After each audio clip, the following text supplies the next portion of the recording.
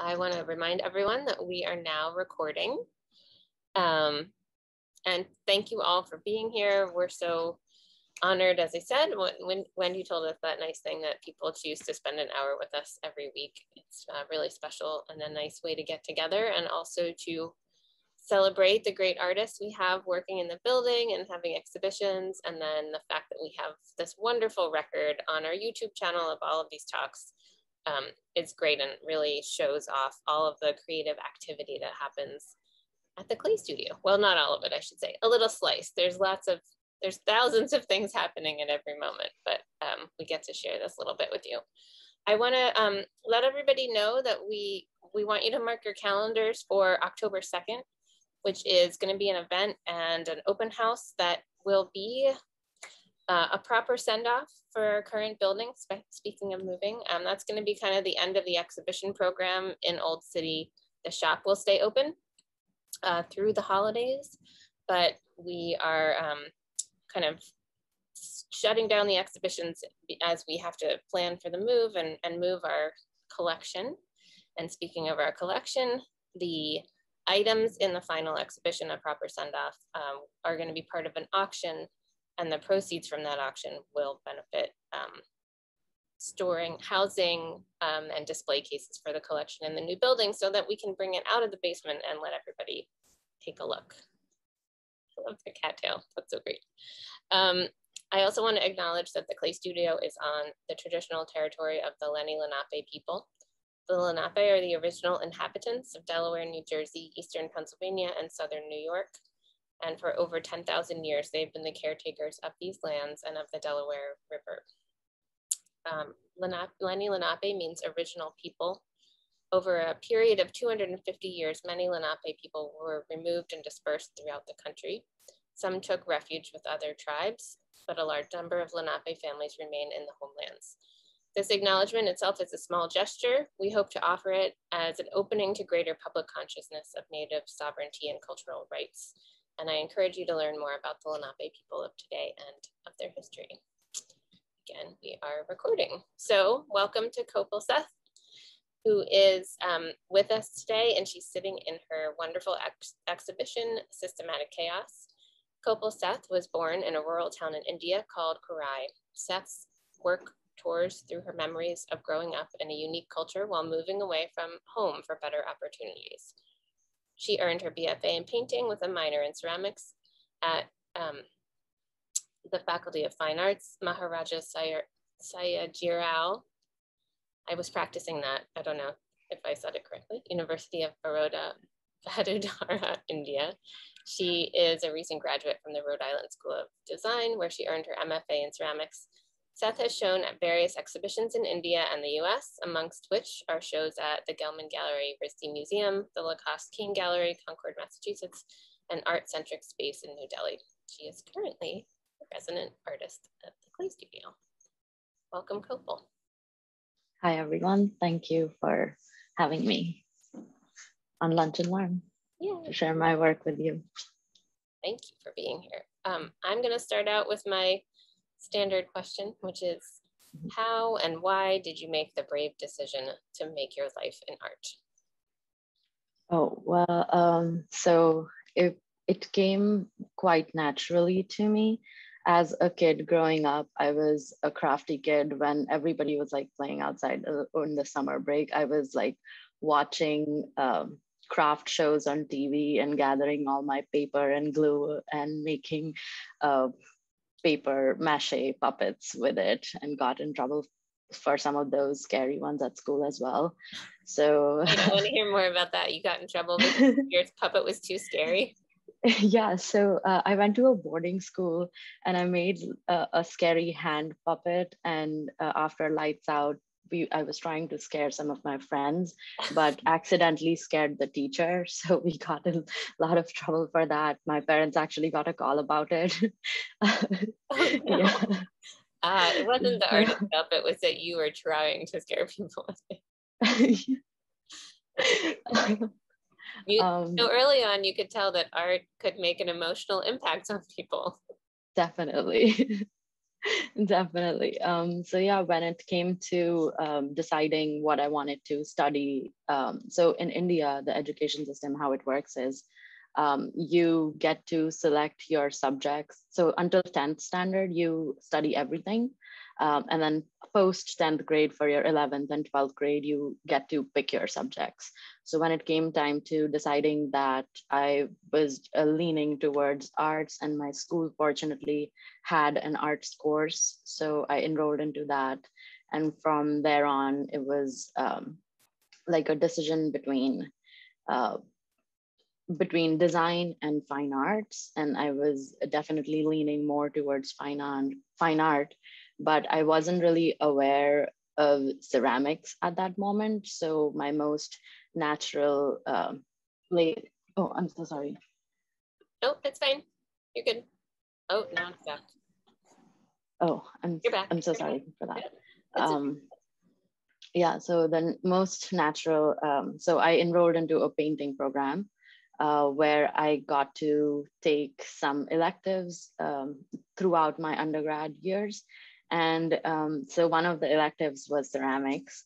But um, so one of the electives was like options was ceramics, printmaking. So I was like, oh, let me try my hand at pottery. Maybe I will never do it again, but it looks really fun. So I just want to try it out. And during my semester of pottery, I really got involved in it and I got an opportunity to see a raku firing.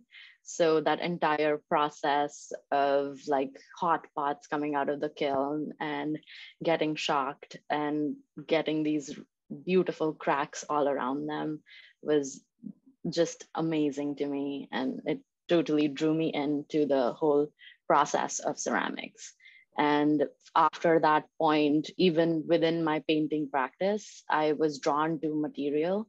So I wasn't painting on traditional canvas and with paint. I was making my own base with plaster, cement, paper mache. And so I was really involved into the process of sort of making my own base and then painting over it. Mm. So, um, yeah, uh, and then I decided to sort of see that through for my grad program and I applied to like various colleges um, for ceramics program because I really wanted to study more of the materiality and the processes that are and like that are part of the part of ceramics. Um, so yeah, that felt like a very natural transition for me. And I was fortunate enough to have the opportunities come my way that way. So I could pursue them. Um, yeah. So that, mm-hmm. and that's when you made that another brave decision, which was to come to the US for grad school. Mm-hmm. Did you apply to places in India or other places, or did you really want to mm-hmm. come here? Um, I definitely wanted to explore something outside of the country. So I was considering uh, ceramic programs in the UK and the US mostly. Um, and I really wanted to go to a really like good school if I was gonna be making a big investment like this. I wanted to do it from a really, really nice school. Um, and um, because in India, even though uh, there are programs um, in India for ceramics now, um, they weren't as advanced, and definitely the infrastructure isn't enough, especially at the level that I wanted to pursue it at. Um, so uh, going outside of the country seemed like uh, a better idea and a better fit for what I was thinking at that moment. So, and then I applied everywhere. And then fortunately, again, I got accepted to RISD, which is a wonderful school. And I had such an transform, transformative educational experience over there, really changed my entire practice and the way I approach art. Um, so, great. Yeah. That's great to hear. Do you want to talk a little bit more about that idea of how did it change your approach? Mm-hmm. Um, so that was so just go like in at RISD, I weirdly I still can't imagine like I still can't believe sometimes like that was part of my educational experience. We got uh, an opportunity to visit China and Jingdezhen. Mm. Uh, so Central Academy of Fine Arts in China invited our entire department to visit them and go see Jingdezhen. So just being surrounded by that much ceramics and learning all the history about um, China and how like ceramics happen to be and how important it is and how deeply ingrained it is in their culture. It got me thinking about ceramic history and clay histories of India. Mm. And because China and graphic, there is a very clear um, lack of, um, I'm gonna say, fine luxury ceramics. Mm-hmm. And uh, it's like, it's not as deeply, even though it is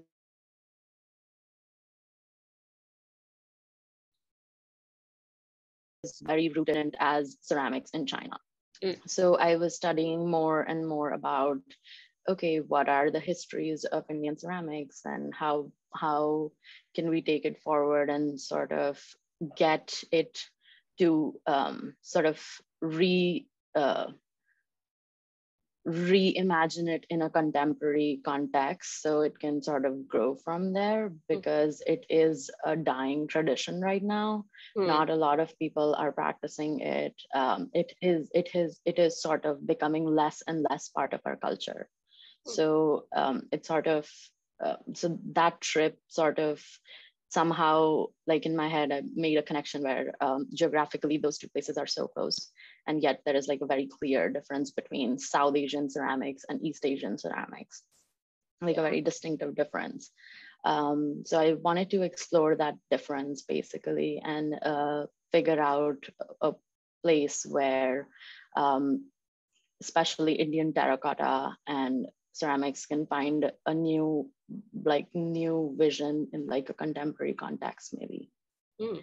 so yeah that that's so you know i've i've heard that from others that you have to leave a place to really mm. understand the place because you see differences and you mm-hmm. actually mm-hmm. went you went to had to go to two places right you had to come to the us and then go almost all the way back to see that yep that's beautiful though and it, it really um, i think is going to lead you to make a big impact on the indian ceramics community because you can see all those things so we're having a little bit of lag so i'm going to just um, mm-hmm. i'm going to suggest that you go over to josie's desk like we talked about um, just leave okay leave it on mute and on um, mm-hmm. on there and then over to Josie's and then she's there. So you could just be able to sit down. Sorry, everybody, bear with us. We're just um, want to make sure that it's easy to hear what Kopal is saying. Ooh, she disappeared. See where she went.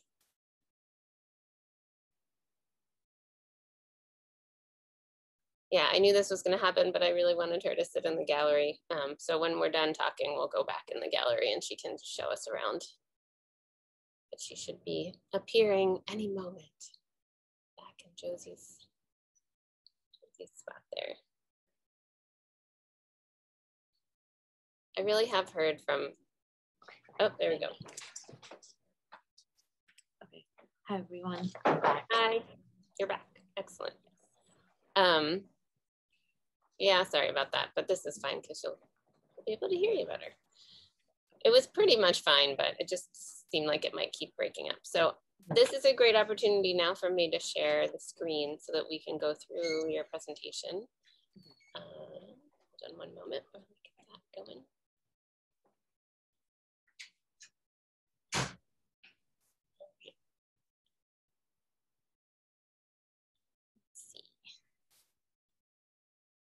Okay, can you see that okay, Coco? Yes, I can. All right, you can just tell me when you want me to change the slide. Uh-huh. Um, so I, in the presentation, I have included some pictures of my painting work that I was doing in undergrad. And uh, even when I was painting, I was thinking a lot about space and um, like corners have somehow fascinated me. They are sort of my comfort place. Every time I am overwhelmed by everything that's happening in the world, I naturally like gravitate towards a little corner to sort of center myself and um, deal with everything and then move on uh, clearly. So I've been fascinated by corners and uh, all the natural things that happen in corners due to time, weather, paint, and they create these abstract patterns and um, like little bit of like landscapes uh, from like a bird's eye view. So my entire um, uh, my entire like idea of like looking at something from a bird's eye view sort of came from these watermarks on walls where they look like landscapes. And growing up, I was fortunate enough to have opportunities where I would, I my parents like flew with me uh, to places, so I was like always looking down the plane window and really fascinated by how things look from like a bird's eye view. And when I was like uh, living alone, uh, this is like the corners would be uh, the places where I would find the most comfort. And then I would notice all these nuances of different shades of white and how um, like water sort of travels through and like sort of makes an imprint of itself and captures the time within these spaces. Um, so that's what I was painting. Um, so maybe next slide. So that's what most of my painting work is about um, next. Um, and then again, big, like I mentioned earlier, that I was um, really interested in building up my own base. Um, and um, so I started using a lot of like found objects that I found, and uh, just I would s- stuff it with plaster or cement to sort of make a flat base. Um, so next one, um, to maybe like paint upon. And I was using a lot of like textured material like gesso to create different planes on my paintings. Um, next. Um, so yeah, so this piece particularly are backrests of chairs that I found at a flea market in India. And I was really intrigued by the cane work that they had. And it looked like um, when you're looking at an atlas and there are those like lines uh, on it, it sort of reminded me of that. And I wanted to play with that texture with some smooth texture and create uh, like a cart uh, cartographic vocabulary of my own essentially mm-hmm. um, so i was using a lot of like found objects um, next so like even within um, uh, i was like even throughout my painting like uh, uh, degree i was exploring various materials and i wanted to sort of pursue that more uh, more intensely um, next. And that looks like screen. Mm-hmm. So that this piece in particular um, uh, uh, was inspired by like construction and demolition that was going on near my uh, like neighborhood that I was living in, and there were these beautiful like chunks of wall which were just left behind in wreckage. Um, so I wanted to capture that feeling and the essence of those wreckage within this piece where it was very much part of the wall and yet it looked like it was peeling off and coming uh, away from the structure and and like it had captured some of the water damage and um, like just essentially a passage of time. Uh, so i wanted to uh, capture that feeling um, next so from here, uh, this is some of my ceramic work from RISD after that uh, China trip, um, uh, where I was really thinking about um, traditional forms. And I was thinking about it in terms of shapes and vessels that were that are important in like chinese uh, culture and how and if if there were similar sort of pieces in like in indian traditions. Um, and i i thought the matka was a very close um, sort of a pot to a moon jar. Mm-hmm. Um, uh, and I thought that would like a matka is sort of like an Indian moon jar, but the unique quality about a matka is that it is a low fire terracotta pot, which has a round bottom, so it doesn't have a feet. It doesn't have any feet essentially. Um, so it rests on a pillow of fabric or like a pillow of recycled paper. So we make a little donut ring of cloth and it sits on that. So matkas are made out of terracotta and have, uh, are, because of their porous quality, are used to store water uh, over the summer to keep the water cold and regulate the temperature. A lot like these pots can be like seen around town as public watering uh, places. So if you're walking in the heat on the street, you will like in every like 10 or 15 feet, you will find like some matkas where you can drink water out of uh, because the summers are really hot and everybody wants to be hydrated. So shopkeepers will have them. And if you're on the street, passerby, you can just help yourself to the water. Um, so I thought this shape and form was very involved and integrated into the Indian lifestyle. And yet it is running out of its popularity and use. Um, so I wanted to uh, like take a little, like add a little bit of my spin uh, to it in a somewhat of an illustrative way where it like narrates um, story and adds a little meaning to it and maybe in, in hopes that it could find a place in the contemporary art context.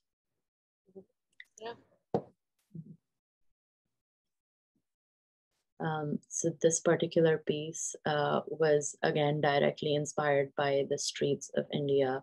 One of my favorite things about home is the streets and the hustle and bustle and just the amount of the sheer amount of activity that goes on in like matter of seconds.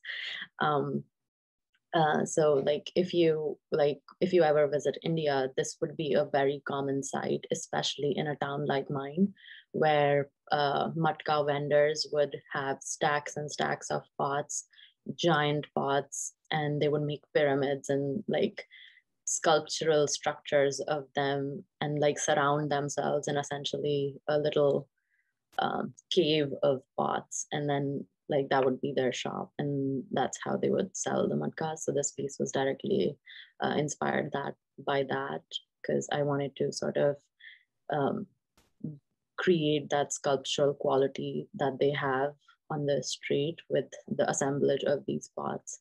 And uh, they're definitely not thinking about it in a sculptural sense. It's just out of necessity because they want to make a shade for themselves while like throughout the day um, selling the pots on the street. So i wanted to recreate um, like capture some of that sculptural quality of those arrangements here. And that they have to they're not intentionally sculptural, but they have to be structural because they have to mm-hmm. be able to not fall down. And mm-hmm. are those the people who are making the pots or the people who are selling drinks or something in in them? Um, so it's both. They can be found. Uh, so mostly the larger sculptural uh, thing that I was imagining was mostly the vendors. But if you went to food vendors who use uh, terracotta cups called kullar for chai. Uh, they would also have a pile of them stacked uh, on top of each other in like a very sculptural uh, way um, to sort of, but out of like sheerly all out of practical reasons and for like space conservation so everything's like stacked on top of each other that whole idea really fascinated me and i wanted to like um, use that and see how, what that does uh, in like a sculptural context. Yeah, and you and I have talked a little bit about your interest in how these things are um, sustainable. You know, this isn't, mm-hmm. these are not plastic water bottles. These are things mm-hmm. that are, um, mm-hmm. you know, not damaging the earth yeah. in that way. Mm-hmm. They are very low fired. Um, so, so the the terracotta uh, pieces that are uh, very like that are traditionally part of the Indian culture are mostly disposable pieces. Instead of using plastic, they're very low fire pieces. And uh, so they decompose over like, uh, I wanna say like maybe six or seven years, they'll just become part of the soil again. Um, and a lot of the people, uh, like especially like the older generation, prefers and chooses to drink out of these pots and that this is like their preferred way like preferred utensil essentially because when you're consuming something out of the pot because of the low fire quality some of the flavoring of the clay gets into your uh, um, drink or whatever you're consuming out of this pot which adds a very earthy umami flavor to your dish. So a lot of the people over time have acquired a preferred taste for food out of these containers, like terracotta containers. So they are definitely um, like preferred use and sustainable.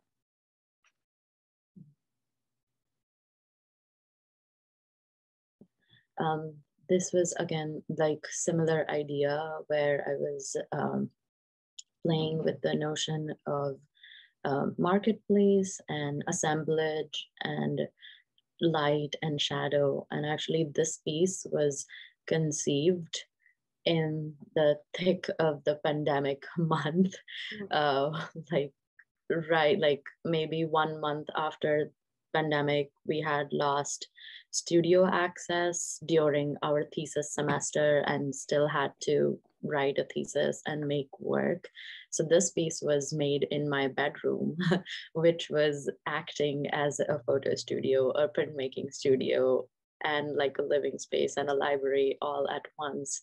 Um, so very limited resources. And again, my inspiration for this piece was like a long day on in like a marketplace and how shadows and light would sort of affect that um, scenario. And especially during the pandemic the um, local crafts community is really get was getting really hit by uh, uh, was getting very uh, heavily impacted by the whole pandemic. So I was thinking about that and how these pots might just be sitting and not being sold at that, the much, uh, gathering dust, light. And I wanted to capture the essence of time over these pots where they were sitting. So um, all the markings that are on this piece um, were created over the time of um, one week where I at every 5 p.m. because that is usually the time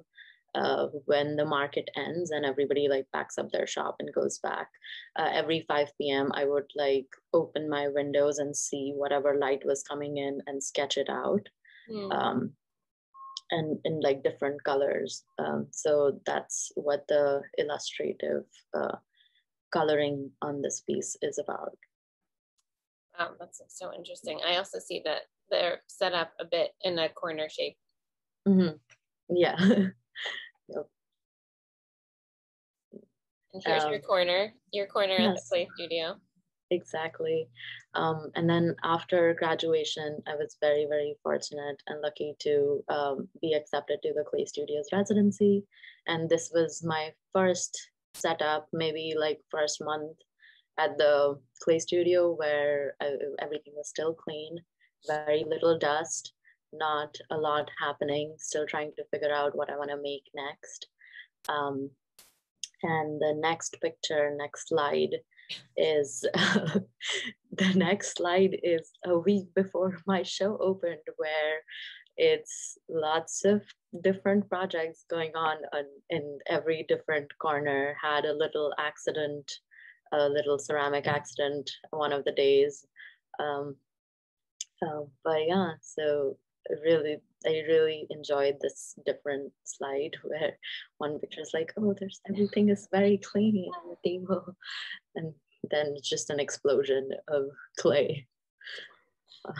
well, it was great to see you. Um, you know, talk with you as you were making work for the exhibition, and um, you know, I think at one point we were talking about what worrying whether there would be enough work or what the work would be, and we we sort of came to the conclusion that you should just enjoy yourself. Yeah, yep, definitely. Um, I was really uh, stressing about how much. So initially, when this show, when we were conceiving the show, it was gonna be in a different space, which the sheer amount of space was very daunting to me because uh, this is uh, one of my bigger uh, exhibitions or actually the only big exhibition that I had the opportunity to do. Big, like uh, because usually you would have your grad thesis show that would sort of launch you into um, big exhibition experience. Um, but because of the pandemic, uh, unfortunately, I missed out on that opportunity. So very grateful that I had the Clay Studio to organize this opportunity for me. Um, so yeah, when the Bonowitz Gallery became available, I think everything just fell in place on itself, and I was definitely less stressed and happier with the work and how everything was looking in the space. Yeah, and that's beautiful. So, um, and we'll show everybody in a moment. You can go back when we're done with the with your slideshow. I love I love this one, um, and this is this is the one that's up in the shop right now, right? Yes, it is. Yeah. Um, but minus minus the light um, fixture. Um, so this was one of my first pieces that I made at the clay studio, and I really wanted to experiment with some light and the porous quality of porcelain. I was slip casting a lot of the slabs, and they were coming out really thin and workable and were very translucent because of the slip that I was using. So I definitely wanted to incorporate some light and um, capture like again the idea of a bird's eye view of a town or a city but in the dark and how illuminate uh, how it just lights up and creates a very uh, dreamlike visual so this was an attempt to achieve that. Um, um, next slide maybe. And uh, very in like very in, i got some really interesting results. Uh, uh, one of the ideas i definitely want to visit in the future because uh, the, uh, during this attempt, I did not like the lights that I used and the quality of light that was coming through the piece. Mm-hmm. I would definitely prefer a more even panel instead of those LED lights that I have um, I had on in this time. So definitely a little more research to be done in the future with the kind of lights that I use. Um, so I will be revisiting this idea again in future projects. It's exciting. Uh, and this is what the piece looks like, and this is how it's been displayed in the gallery right now. Um, if you stop by, please do check this one out as well. Um, and this was my attempt at really using the matka form in its true scale. So matka forms can be found um, in various sizes, but the most used and the most widely available size is a big, like a, I want to say maybe like a 20 inch uh, tall pot. Um, like 18 to 20 inch tall. So it'd be like this big and this wide. Um, so I wanted to, uh, so this was my first big blow up scale. I was really nervous about all the attachments that were that I was doing on top and how I would move it into the kiln and like move it out successfully because when it's uh, not fired, everything is very very fragile and I always lose a lot of stuff um, in the moving process. Um, so this turned out really good. I was using uh, a very dark stoneware for the color that it fires to. I'm very intrigued by the darkness of that clay. Um, yeah, and this was part of the residence show at the Clay Studios Gallery. Um, so I was very excited to be part, um, be showing this work with all the other residents in a different setting. Yeah, and then uh, we have to give Naima an award for packing it. Yes. Oh. Mm-hmm. oh, Naima, I'm I'm going to give her a big treat before I leave because uh, I I think I add so much work to her day with just packing and all the logistics that go behind shipping my work. Well, it uh, it's a it's a pleasure um, to do it for you, so don't worry about that. It's just uh, it's just good to acknowledge when we look at these things, like how are you going to get that in a box? But we yeah. I shouldn't say we. Naima figured it out. oh, and here it is, finished. Right? best. Yeah. Um, yeah. Is this the same one, or is this? Mm-hmm yeah so this is the same piece uh, and one of my solutions for um, like moving the pot and like logistically have it be successfully built was leave some room for the pot where it can be held from the top to be able to move because the base form is quite stable and strong even when it's not fired. It's only the little pieces that are attached on the surface that tend to fall off. Um, so just leaving a little space on the lip for my hand to sort of go in and hold it there um, helped a lot uh, with like making the whole moving process and like logistics of like making ceramics work um, a little bit easier and i really like this quality uh, which also like because initially i wanted to just overwhelm the entire form with dense, dense uh, surface um, additions.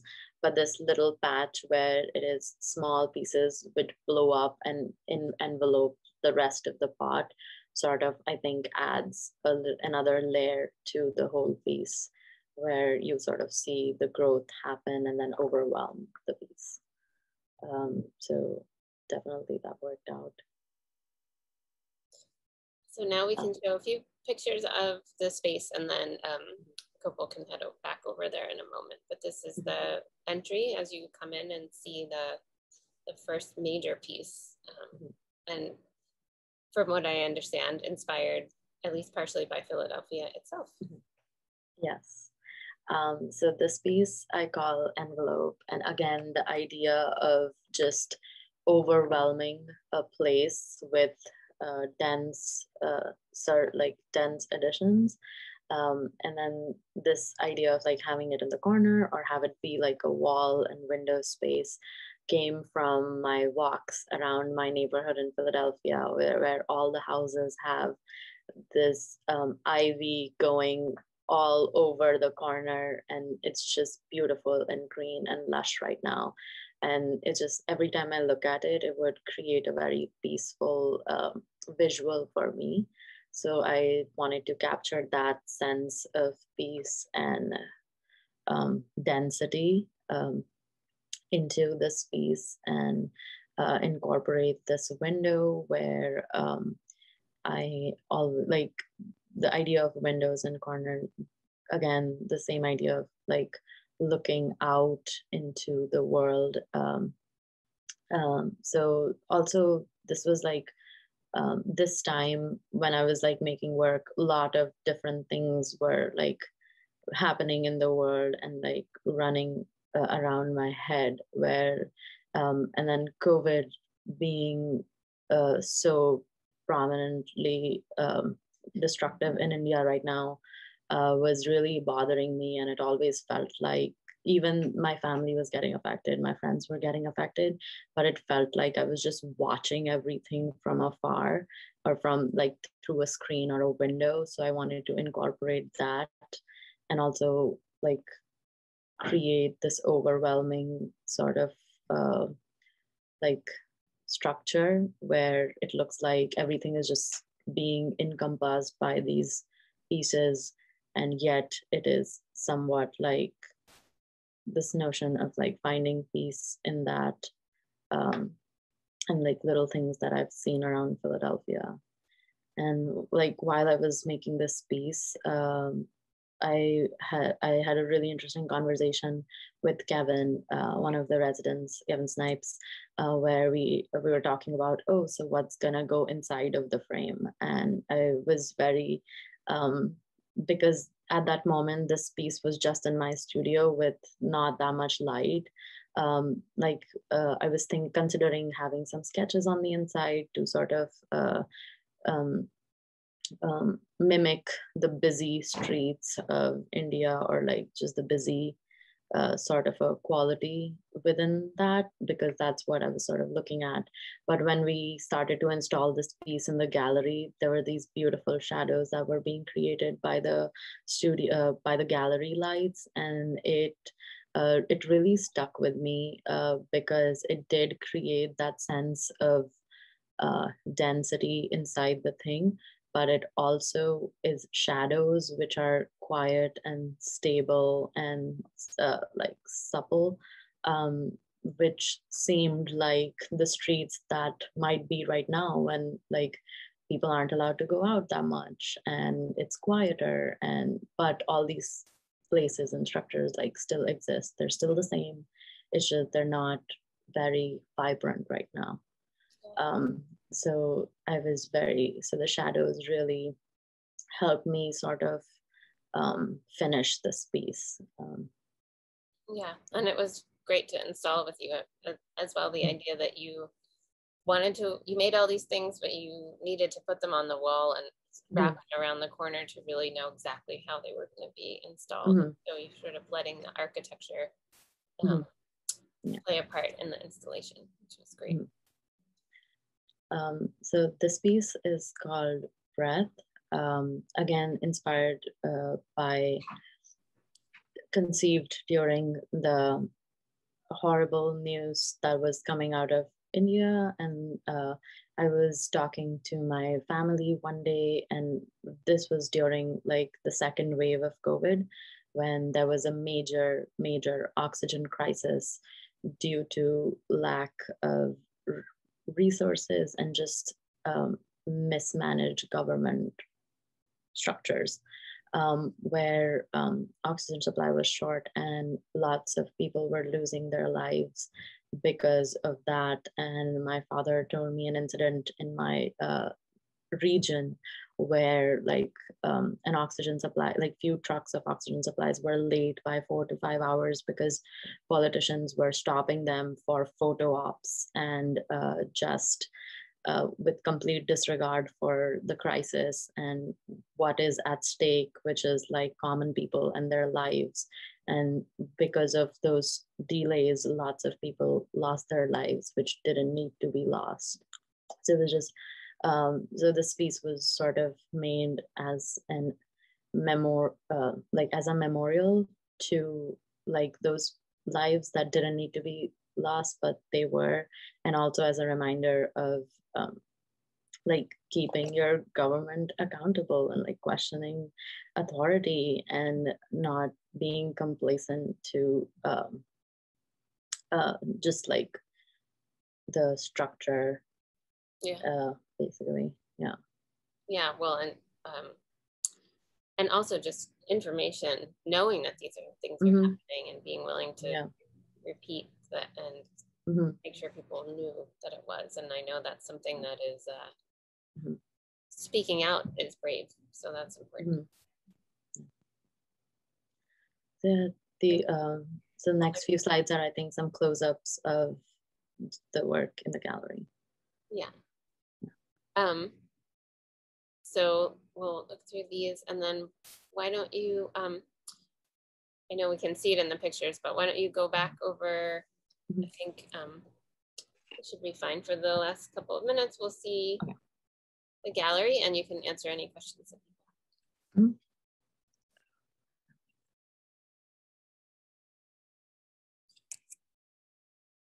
So if anyone has questions, feel free to put them in the chat now and we can um, ask Kopal as she's finishing up and giving us a little tour of her space. I wanted to make sure that we got to see the gallery because this, as I said, because we have these recorded and, and held on our YouTube channel, it's a really nice opportunity in the future for people to, to physically see the space. Mm-hmm. Um, and I don't think, um, do you want to talk a little bit about the um, the pieces that are on the your left. yeah. So the these pieces. Yeah. these pieces were like one of the last pieces that I made for the show, and they were inspired by the residents' trip to uh, the Mercer and the Michener Museum in Doylestown, where um, we they have these big like stone houses, uh, concrete houses with like large windows, which create beautiful shadows on like in the corners again. And it was really beautiful. And like i just remember walking through that space just thinking about wow this is a great opportunity. And this is like sort of like the dream i had of like getting this kind of an exposure um, but at the same time there is like so much so many things that are going on with my family back home and in india. So these pieces were sort of like my direct way of compartmentalizing my life into like two pieces where i'm living this individual life here right now which is like focused on my career and what I want to do with life. But then there is this whole different part of my heart and my family, which is like back home that is um, not been like I'm not able to give that much time to. Um, so this is these this was the piece that came out of that. So I'm gonna get you a little bit closer to that. Thanks. Yeah, and I love that even the color you've chosen to kind of mm-hmm. wash and create those um, window mullion shapes is this light, um, positive, kind of happy color, and then the um, the other sections are are kind of being hidden a little bit and being um, you can see that's I mean it, literally the corners of your mind kind of yeah. figuring out how to put these different spaces mm-hmm. together. Mm-hmm. That's just really beautiful the idea and the and the way you've executed it. I, I love those pieces yeah the yeah these were very like again our conversation about just having fun and see what comes out of that um sort of a notion. Yeah. So this is yeah that one.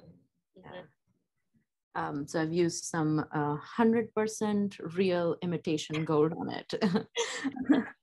yeah, I said, I asked Kopal, well, let's make sure that when we price it, we think about all that the gold that you used. And she said, What do you mean? It wasn't very expensive. And then she read the label. It said real imitation gold. So we thought that was funny. 100% real. 100%, 100% right. So great. Um, yeah. And those those pieces, which are sort of in my mind a little bit related, maybe tell us about that mm-hmm. in terms of you're sort of covering up the these under underlying structures that for you in your verbal in your visual language kind of indicate India and then you've put like a fabric over and you've put um, you know that the mesh over the other one are those kind of telling that same story of uh, what lies beneath mm-hmm. uh, yeah i was uh, really working through this idea of um, again like the square um, was like windows and like what I'm seeing through it. And uh, are there like, there are like some parts of um, like life there that I am not most pleased with. And uh, uh, just the struggles that go along with that uh, conversation because everywhere you live there are something that you enjoy about the place and there are something that are a little bit problematic um, so this was just like playing with the notion of that and sort of trying to um, so these two pieces were somewhat experimental where i was trying to find my visual language where how i wanted to sort of um, narrate that idea without it being very um, illustrative mm.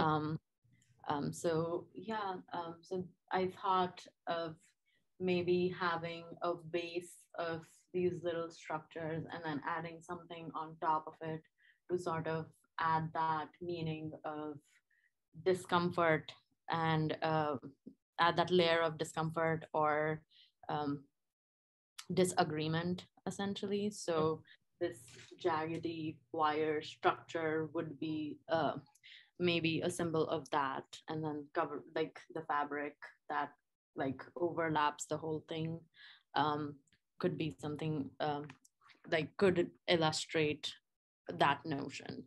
Um, so these two pieces were just me sort of resolving out a way to like find an accurate visual representation for mm. Um, and then these two pieces, again, the corners yeah. on back.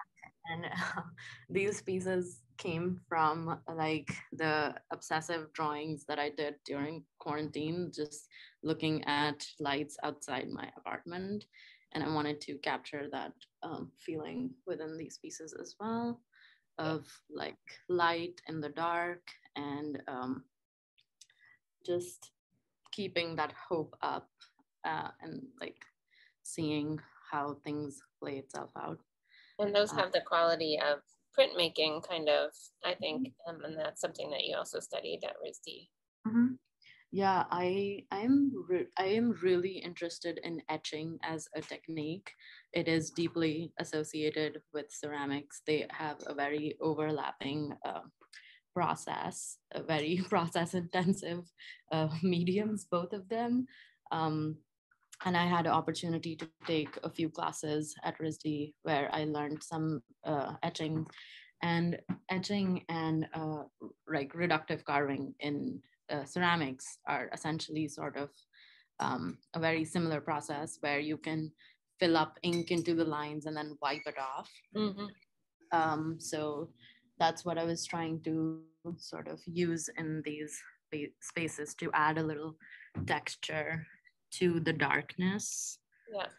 And that texture also adds a lot of like movement within the piece. Mm-hmm. Even though it's dark, I didn't want it to be just flat and dark. I wanted there to be some chaos and movement within the darkness.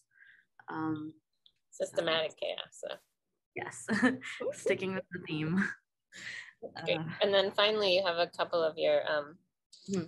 Yeah, I also uh, included some of my matka pieces. They're, these ones are relatively small um, and they are arranged here. And this one's my favorite ceramic happy coincidence accident piece.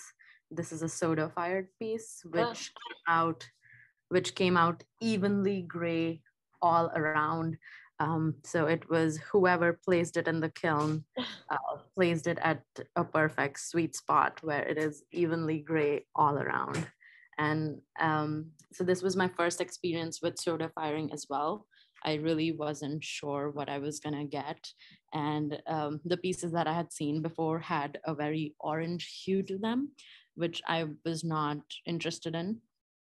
Um, so I was like, okay, I'm gonna put one piece in the kiln and see how that turns out. And then voila, this comes yep. out. okay, collaboration then, with whoever put it in the kiln.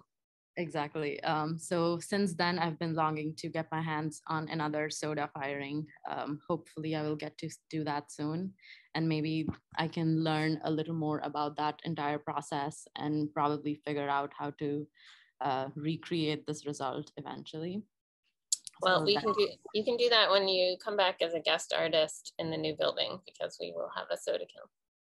Yes, that would be wonderful. I am already looking forward to that. Yeah. Um, and then this piece is sort of hard to see right now, but this is enveloped. Yeah. Um, uh, stretches all around the wall um, to the side. And then I'm gonna try to focus on the shadow a little bit. Okay to create oh, yeah, shadows. I spent like good two three hours messing with the lights to make the shadows happen and another thing that i'm looking forward to in the future with my future work is understanding how like lights work and how i can make more intentional shadows going forward and potentially um, some pieces that involve shadows again. Yeah, yeah, and the figuring out the shadows and the pieces that maybe have the lights within them, and it's very exciting. Lots of stuff to work on.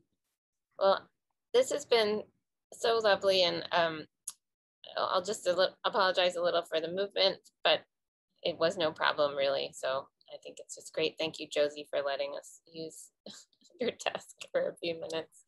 Um, Kopal, it's been lovely having you here for a year. I wish you could stay longer, but uh, we, like I said, we'll look forward to seeing you back in the studio in the future. Um, does anyone, I think there might have been one question, but I think you also answered it. Nishay was asking um, if you created the, the shadows intentionally and uh, you were just telling us how you did and you spent so much time with the lights. So that kind of answers that question.